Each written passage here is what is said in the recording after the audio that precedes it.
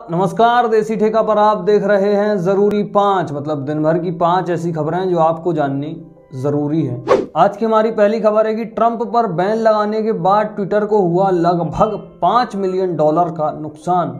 Donald Trump का लगभग नौ करोड़ फॉलोअर वाला ट्विटर अकाउंट, ट्विटर ने इस आशंका के साथ बंद कर दिया था कि डोनाल्ड ट्रंप इसका उपयोग हिंसा फैलाने में कर सकते हैं।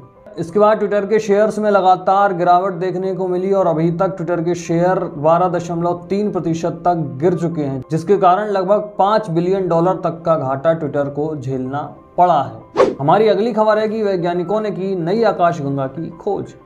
यूरोपियन साउथर्न ऑब्जर्वेटरी के रिसर्चर्स ने नई आकाशगंगा की खोज की है। ऐसा पहली बार हुआ है जब कोई नई आकाशगंगा खोजी गई है।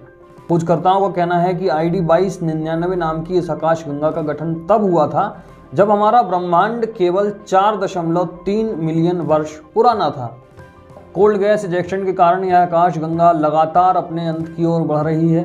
अगर हम इसकी दूरी की बात करें तो इसके प्रकाश को धरती तक पहुँचने में लगभग 9 अरब प्रकाश वर्ष लगते हैं। हमारी अगली और बड़ी खबर है कि चीन में फिर से लगाया गया लॉकडाउन कोरोना के बाद से चीन लगातार दावा कर रहा है कि उसने इस महामारी पर काबू पा लिया है, लेकिन एक बार फिर से चीन में लॉकडाउन की स्थिति देखने को मिली है और उसने अपने एक शहर पर लॉकडाउन लगा दिया है। चीन के लेंगफिंग नामक शहर में कड़ा लॉकडाउन लगाया गया है और शहर वासियों को हफ़्ते भर होम क्वारंटाइन रहने के लिए कहा गया है। कुछ दिनों पहले ही चीन के हेबई प्रांत के कई शहरों में ऐसा ही लॉकडाउन लगाया गया था। ये खबर बताने का हमारा मकसद सिर्फ़ यही है कि वैक्सीन आने की खुशी में लापरवाही ना बरतें और कोरोना संबंधी सभी सावधानियाँ बरतना ना भूलें।